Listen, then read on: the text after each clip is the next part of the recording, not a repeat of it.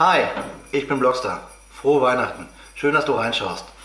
Heute bauen wir den Lightstack Systems Adventskalender und bringen somit unseren eigenen Tannenbaum aus Klemmbausteinen zu leuchten.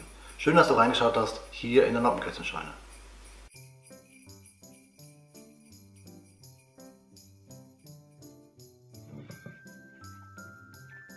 Schaut euch das an. Unser eigener Klemmbaustein Tannenbaum und beleuchtet.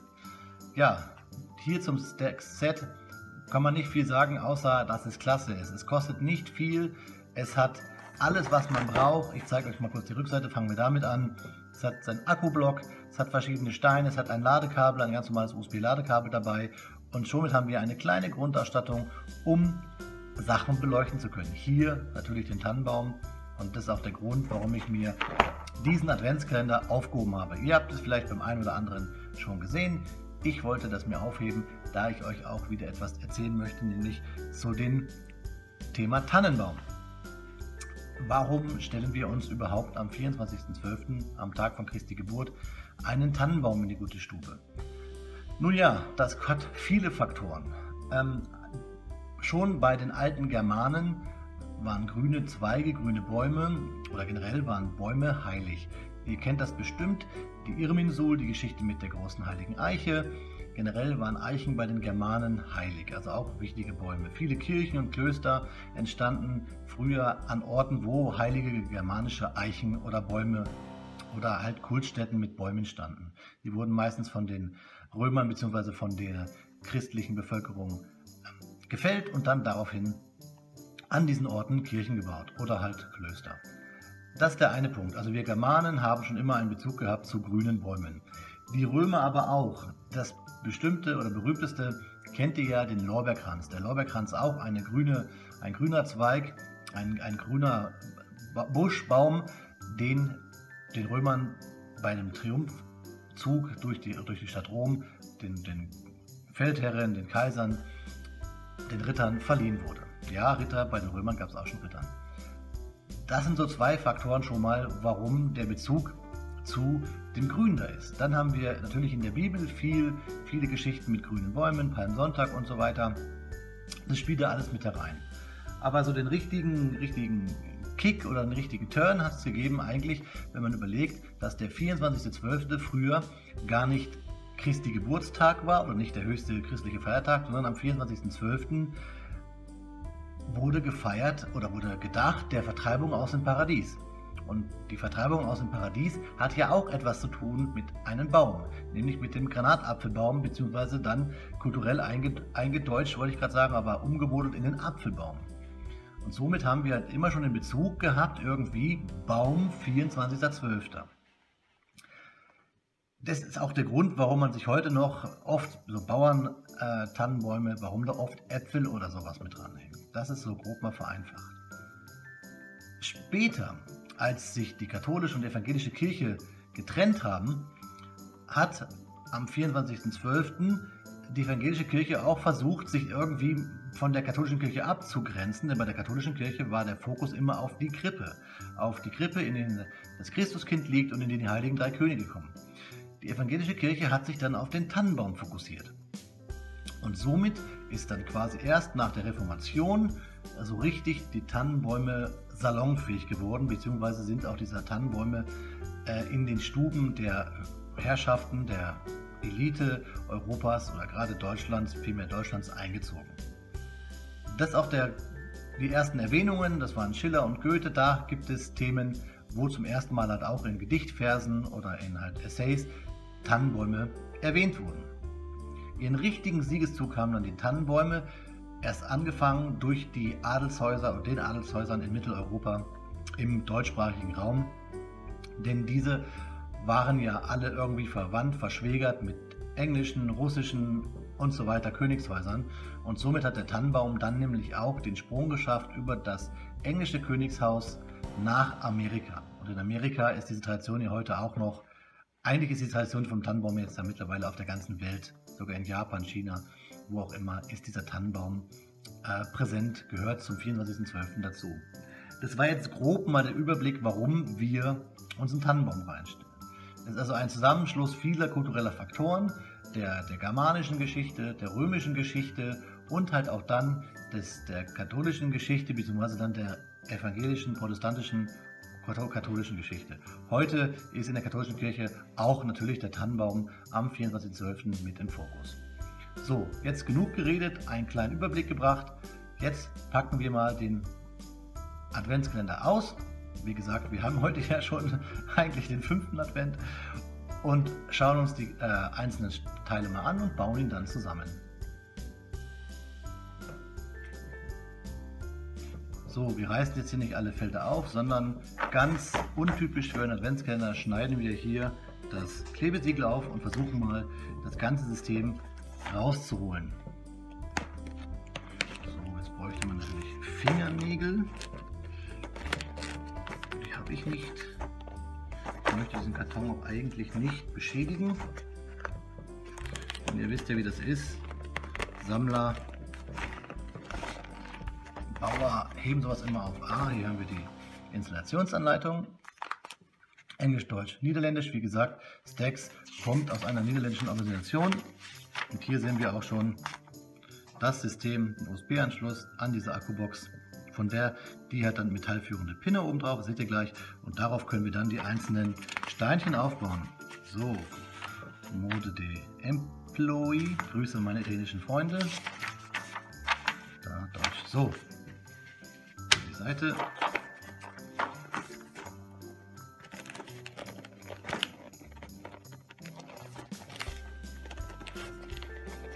Ups, ah, es ist geklebt, daher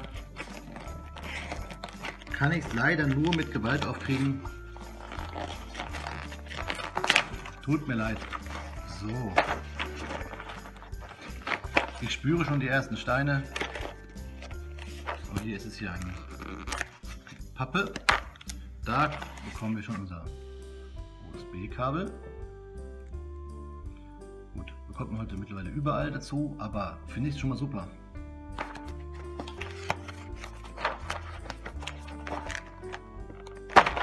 Na, ist will nicht so ganz. So, dann verzeiht mir. Frohe Weihnachten.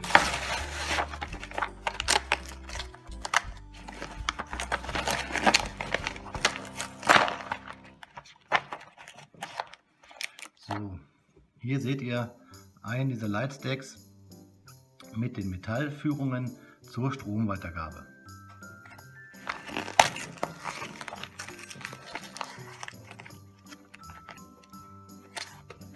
Ist übrigens ganz lustig, wenn ihr mal geschaut habt, dass man Feld 1 die Akkubox bekommt. Das ist diese Akkubox. Da seht ihr es, kann man laden. Da aber das Kabel erst mit Feld Nummer 2. Also erst die Akkubox schon mal dran gewöhnt und dann mit Feld 2 das Kabel. Und berühmte Spielchen, was ihr auch seht, das funktioniert halt. Wo ist es? Kamera verwirrt mich. So, so sieht es dann aus. Alles klar. Ich gebe jetzt mal alle Steine aus. Ups.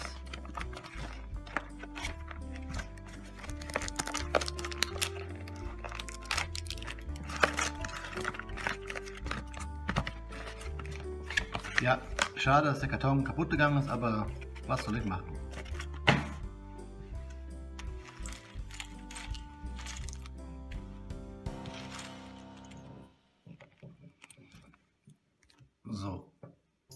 Und hier ist der An- und Ausschalter. Jetzt wollen wir mal schauen, ob das System schon geladen ist. Oh ja, wir sehen es da. Es leuchtet. Wir setzen den ersten Stein auf und da er blinkt. Schnell aus, an, blinken. Also es ist schön. Ja, die Steine fühlen sich auch ja, ganz normal an wie Lego-Steine, ein bisschen leichter vielleicht, weil sie halt einfach nicht die Breite oder die Stärke von normalen Lego-Steinen oder äh, Klemmbausteinen haben, da sie ja Metall gefüllt, also gefüllt sind mit dieser metallführenden Schicht. Ich baue jetzt den Tannenbaum auf, hier sind die Steine und dann sehen wir uns gleich wieder.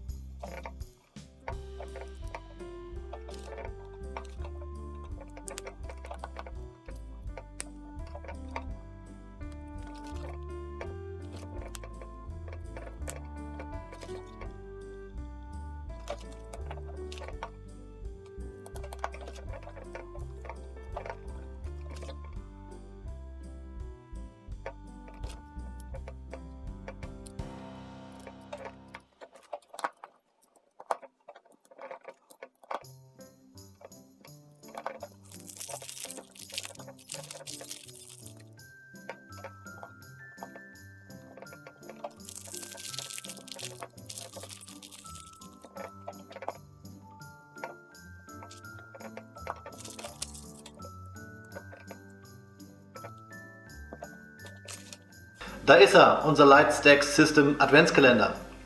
Beziehungsweise unser Tannenbaum, so ein Adventskalender. Als Adventskalender finde ich es nur semi. Den Preis mögt ihr für, vielleicht für zu teuer empfinden. Ich finde es super, denn ich kriege hier alles. Ich habe mein Lightstack Starter Set mit USB-Kabel, mit leuchtenden Elementen, mit Studs und es gefällt mir richtig gut. Der perfekte Sidekick für neben meinen Weihnachtsbaum gleich, neben eurer Winterstadt, neben eurer Eisenbahn. Also perfekt. Es macht Spaß zu bauen, auch wenn es ein bisschen ruckelig ist. Es muss man sich daran gewöhnen, dass halt hier diese Metallaufsätze sind. Dieses Leit Leitsystem, also Leiten, nicht Leit, wobei es ja ein Leitsystem ist. Ihr wisst, was ich meine. Aber sonst toll. Gut, ich bin immer irgendwie positiv zu meinen Sets, aber diesmal wirklich richtig. Kann ich nur empfehlen. Kommt aus den Niederlanden, von daher meine Bewertung lecker. Ja, also ich mache mal kurz das Licht noch aus, dann könnt ihr mal richtig schön leuchten sehen. Tada! Hier gibt es mehrere Modi, blinken, flackern und ganz doll leuchten. Macht so Spaß. Also für die Fensterbank, für unter dem Tannenbaum, herrlich. Ich mache wieder Licht an. So. Ich kann es euch nur empfehlen, es hat so Spaß gemacht. Und Stacks, habt ihr ja vielleicht schon gesehen, ich habe es ja auch bei meinem Video von der Schwabenstein erwähnt, hat jetzt ja eine Kooperation mit Märklin, hier in der Nähe aus Göppingen, denn es gibt dort Sets mit ähm, H0 kombiniert mit Klemmbaustein. Also ihr könnt eure eigene Eisenbahn auf H0 bauen, mit Licht und Sound. Denn Stacks hat ja auch Soundsysteme. Stelle ich euch vielleicht nochmal vor. Ja, kommen wir jetzt aber zu dem rührseligen Teil, denn ich möchte mich bei euch bedanken und vor allen Dingen möchte ich euch von ganzem Herzen frohe Weihnachten wünschen. Genießt die besinnlichen Stunden mit euren Verwandtschaft, mit euren Familien, mit euren Freunden, mit euren Partnern. Ja, abseits des Berufslebens, des Stress drumherum. Feiert schön, genießt die besinnlichen Stunden, kommt mal ein bisschen runter und vielleicht kriegt ihr auch das ein oder andere Klemmbaustein-Set geschenkt und könnt zusammen mit euren Verwandten oder halt selber schön klemmen. Das wünsche ich euch. Viel Spaß dabei. Lasst es euch gut gehen. Merry Christmas. Euer Blockstar hier aus der Noppenklötzenscheune. Macht's gut. Tschüss.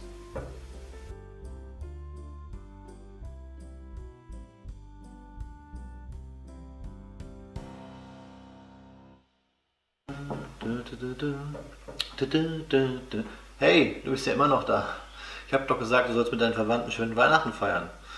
Ja, aber schön, dass du da bist. Vielleicht magst du jetzt noch links oder rechts noch ein weiteres Video von mir gucken. Oder du klickst hier in die Mitte, falls du noch nicht gemacht hast, und abonnierst meinen Kanal. Auf jeden Fall vielen lieben Dank fürs Schauen. Schöne Feiertage. Auf Wiederbauen. Dein Blogstar.